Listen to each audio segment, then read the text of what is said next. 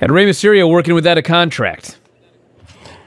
Yeah, so there's a lot to that, but the short version of the story is that um, yeah, his contract expired. I thought since he'd been on TV that um, you know that he may have signed, but in fact he has not signed. And um, I mean, what what happened was he had asked for a raise. Vince had said, you know, look at the situation we're in. Um, you know, we're we're not, you know, we just got rid of a bunch of people, and you know, so anyway, he's he has not signed, and they have booked or they are trying to book a match for Extreme Rules with Rey against Seth Rollins singles match, where the stipulation is is the only way to win the match is take out the other person's eye, blind them for life. That is the way you win the match, which to me It's is ridiculous. it is so ridiculous. I mean, it's like, I mean, w- I, I can only presume the mentality is, is, well, we're going to blind you and not use you or because your contract's, I don't know what it is. I don't know, you know, um, but I mean, the whole idea of trying to sell that is just so stupid. But, you know, this is a very vindictive business. And at the same time, it's like, you know, they, you know, Rey's been there. They don't want him leaving. I can tell you that.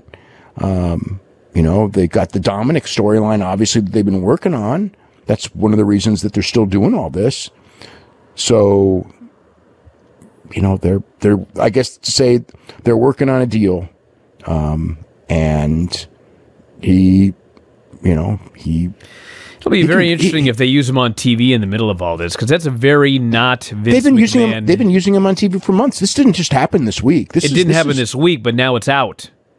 Now it's out. Yeah. Yeah. But I mean, it's been, I think his contract when it was expired months ago and they worked under the, you know, basically, okay, you know, I'll work out this program. And, um, you know, I mean, when the, the original eye program, when they, when they took his eye out originally, I remember I had said that like, if they don't reach a deal, that's his being written, that's his being written off.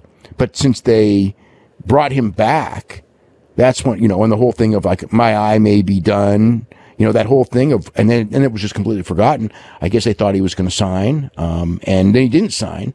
So Oh, he was in critical condition and his eye could get infected. That was a storyline. right, right, and that was a way to explain him being gone if he left. So if he didn't sign a new deal, so that was kind of the out, and now now we're at this situation. So you know, I guess. Um, we'll watch it plays out. I don't think they're taking they're going to make Seth blind in an for life. Uh, I don't think that that's their plan. That would be a pretty stupid plan, I guess, unless Dude, it's a pretty stupid plan to make Rey blind for life if you think he's ever going to come back. It's completely stupid. Like I said, it's just vindictive. But the whole thing is, is like with Seth, what they're going to say, like he magically regains his sight, like like Kane's burns went away. Um, I mean, they could, but it's like, why, why even do something so preposterous?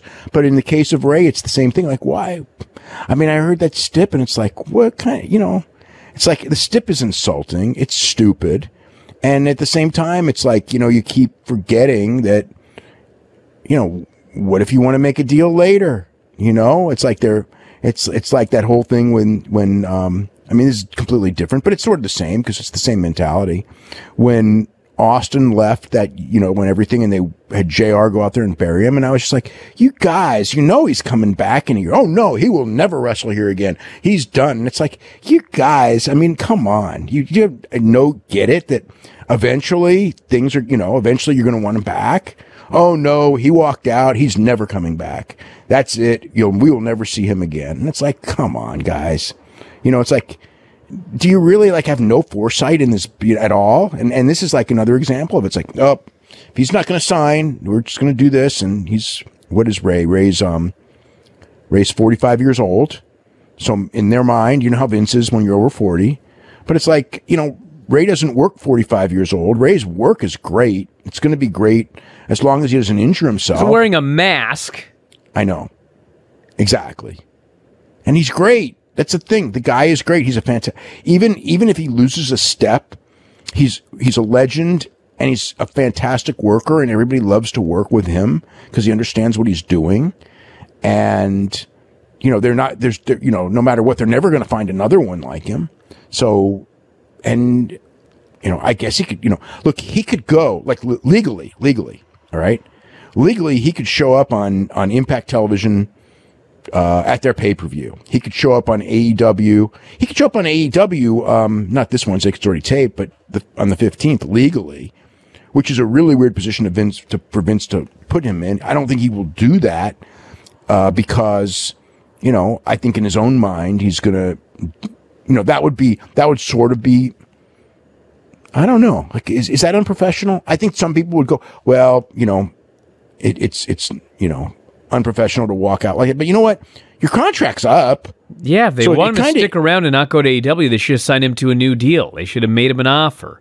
Right Well, they now made him an he's offer. right They now he's him- being professional by working for them without a contract. If he decides he's going to get a better offer tomorrow, then no, that's not unprofessional to go to AEW. So he could go a week from Wednesday. What are they going to The, uh, do? Just say, "Well, we're not going to give you we're not going to we're not going to sign you to a new contract, but we're going to this Dominic angle is going to go through WrestleMania 45."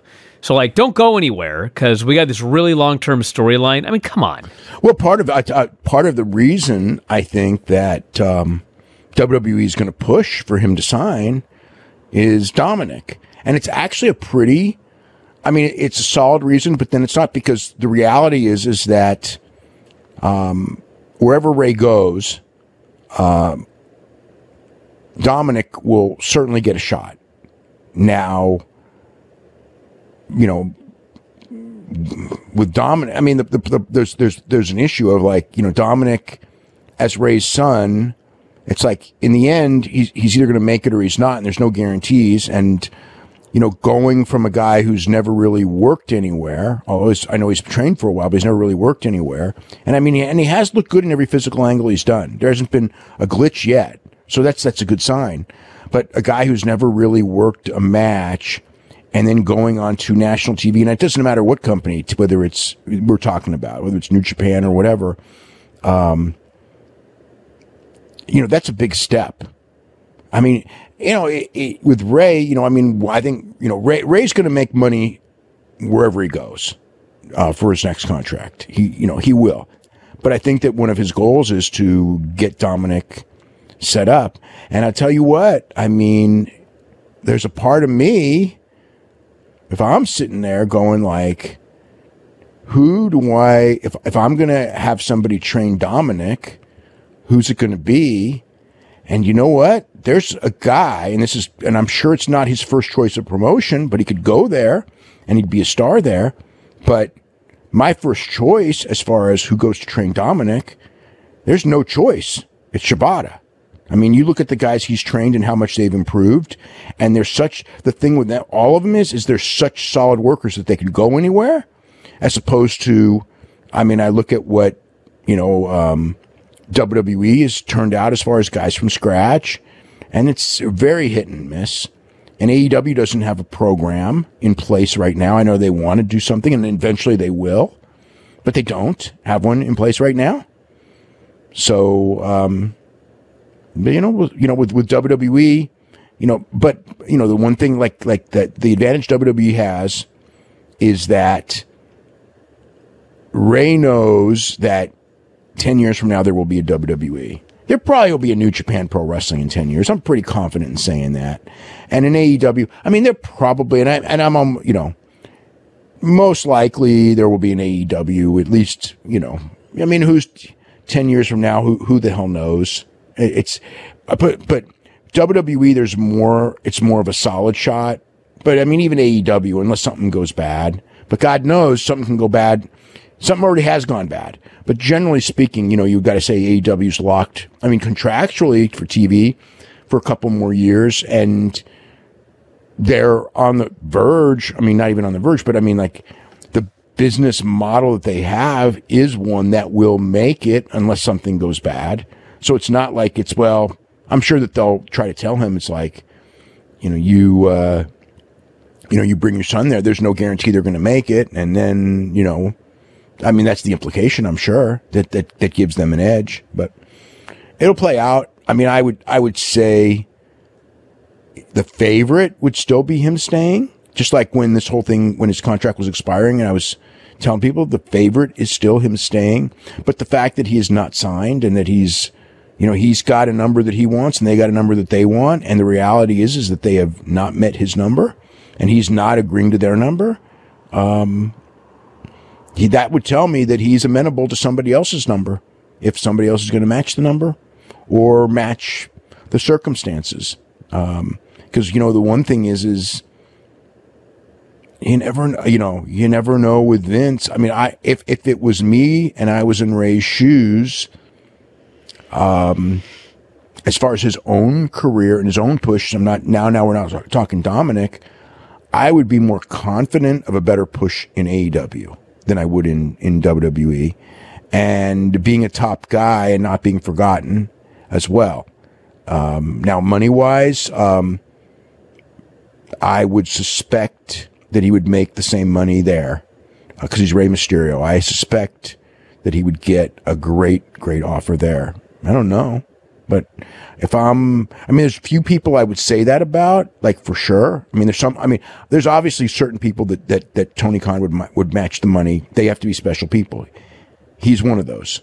I think. I don't know that. No one's from there told me anything as far as that goes, but you know, when they did All In, Rey Mysterio was in the main event of All In. So that tells you that those guys, not necessarily Tony, but you know, Cody and the Young Bucks, that tells you the respect level they have and, and what they want. And, you know, Rey would fit in and, you know, again, he's got an incredible amount of opponents that he can really shine with in a way that, you know, even with Seth, that he really can't. You know, I mean, if you're talking about guys like Rey Fenix or the Young Bucks or, or something like that, he can do much better with those guys than he's going to do in, in WWE rings, if that's what he wants. I mean, there's a lot of questions, and you know, he's the only one who knows the answers, but that's that's the situation with him.